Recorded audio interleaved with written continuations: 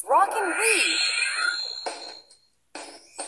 We sound out each letter, write the all in.